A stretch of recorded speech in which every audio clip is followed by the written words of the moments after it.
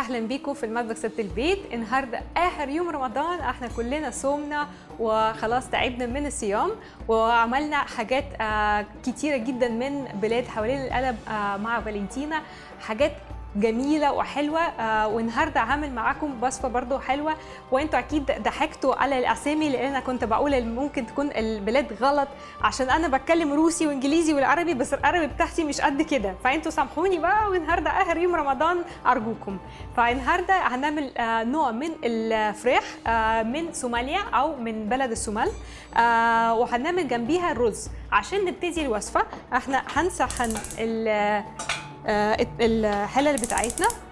دايما إحنا ال- الحلل والزيت. هنحط شوية زيت في الأول واحدة والتاني واحدة. هنعمل إيه؟ إحنا آه هناخد الرز آه عشان إحنا هنعمل زي ما إحنا قلنا فراخ بالرز تمام؟ فإحنا هناخد الرز آه ده رز بسمتي. أنا آه برضو بعمله بال آه بالطريقة آه بتريحني أنا. تمام؟ آه في ناس بيقولوا البسمتي لازم يتحط في المية مغلية وبعد كده بيتعمل بالطريقة كذا وفي ناس يقولوا حاجة تانية. آه لكن أنا بعمل بسمتي زي ما أنا بعمل الرز ال- المصري بالظبط. فأنا باخده بحطه في المية لمدة نص ساعة. وبعد كده بحطه في آه في الزيت وبشوحه شوية وبعد كده بحط عليه ال- المية. آه على فكرة يعني كل واحدة فينا آه حرة في البيت صح؟ مش إحنا ست ستات البيت فاحنا هنعمل ال- الوصفات زي ما إحنا عايزين. تمام؟ هنا هن هنشوح ال- الرز. بسيط وفي الحلة الثانية هناخد الفراخ. عندي هنا أوراق الفراخ. فاحنا آه عايزين نشوح ال- ال- الألو- أوراق الف- الفراخ لغاية يبقى لونهم ذهبي. تمام؟ آه كمان هنعمل الصوص بتاعت ال- آه الرز آه والفراخ بتاعتنا. هنقدم إحنا الفراخ فوق الرز. تمام؟ آه لكن برضو آه ال ال آه، الوصفة هنعملها على مر... آه اتنين مرحلة. الأول مرحلة هنعمل الفراخ في الصوص بتاعها وبعد كده هنحط الصوص على الرز وهنكمله آه بالصوص بتاعت الفراخ. وبعد كده هنقدم الرز والفراخ فوقيها تمام؟ فأهي الفراخ بتاعتي ابتدت آه، تتحمر شوية. عندي الرز أهي برضو هنحمره في ال- في الزيت. آه على وصفة إحنا هنزود المكونات التانية. عندي هنا طماطميتين أنا مقطعهم آه المكعبات صغنطوطة كده اهوت. وعندي هنا اهوت آه بصل آه، الفلفلية. فاحنا هنقطعها رفيع. آه زي ما إحنا بنعمل مثلا الرز لل... لل... للسمك. الله ده إحنا بكرة هناكل سمك وهنخرج يعني العيد أخيرا. والقهوه أنا بصراحة يعني الحاجة فعلا آه، مفتقدة ال- ال- القهوه هي صحيح إن الواحد في حاجات ممكن يتعود وممكن يصوم وعادي جدا بالنسبة له لكن في حاجات مثلا بعد الفطار أنا دايما بحط كوباية القهوه باللبن. مم. يا سلام. قطعنا كده.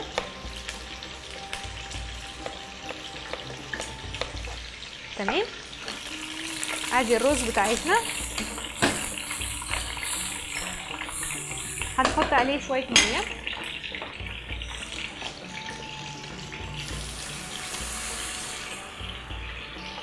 والرز آه إحنا مش آه هنكمله للآخر.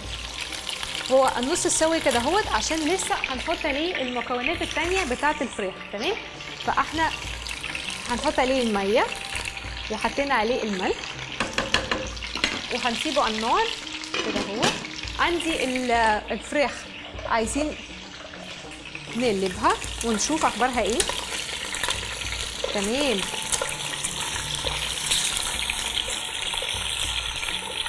أهي. عندي كمان آه، فلفل حراق. لو عايزين إحنا ممكن آه، نحط الفلفل الحراق في الوصفة. لو مش عايزين عشان في ناس آه، يقولوا دلوقتي صيام وبلاش الحاجات الحراق أنتوا زي ما أنتوا عايزين يعني دي حسب الرغبة في الوصفة ال- في الصومالي. آه، الفلفل الحراق موجود ويستحسن نستخدم الفلفل الأحمر حراق فإحنا هنقطعه رفيع كده اهوت أهي. وهنسيبه مع الفلفل ال- الاخضر العادي البلدي. عشان هنشوحه مع مكونات التانية. أهي أنا عشان آه ما أخليش ال- الوصفة حراق قوي أحط مثلا ربع آه من القطع ال- الفلفل الحراق تمام؟ عندي كده الفر- الفراخ اتحمرت فاحنا هنعمل إيه؟ هنشيلها في نفس ال- البول اللي إحنا كنا حاطين الفراخ أهم حاجة إحنا حمرناها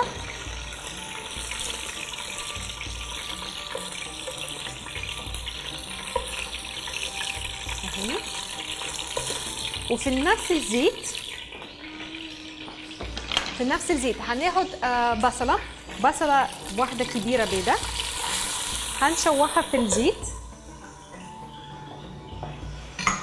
مع بصل هناخد ال- الفلفل بتاعتنا فلفل حراق والفلفل ال- العادي الاخضر كده أهوت.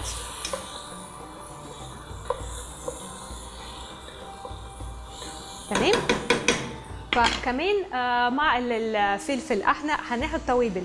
آه عندي هنا حبهان مثلا ربع معلقة من حبهان. تمام؟ عندي هنا بابريكا. فهنحط بابريكا. بابريكا بتدي مش طعم بس اللون. اللون الأحمر الغامق يعني يعني تحفة بصراحة. آه عندي هنا جنزبيل. فهناخد الجنزبيل. هنحطه في في الوصفة.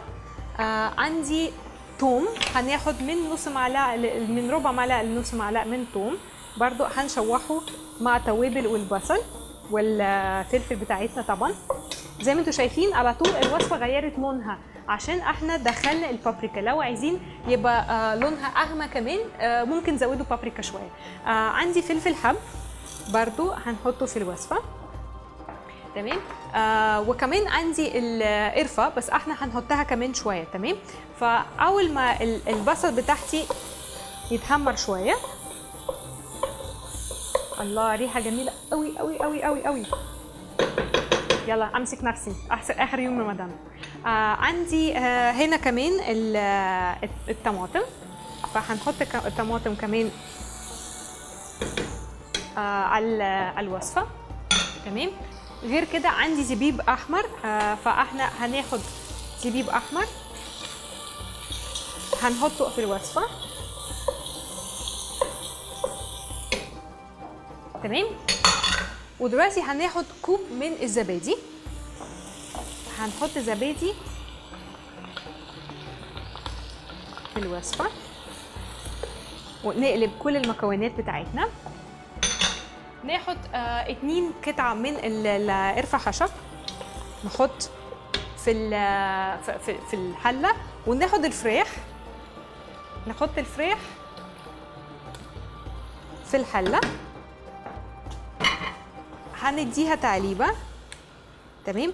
آه كمان دلوقتي إحنا هنحتاج نزود الليمون. عصير الليمون عندي هيدي برضو طعم لطيف جدا للوصفة بتاعتنا.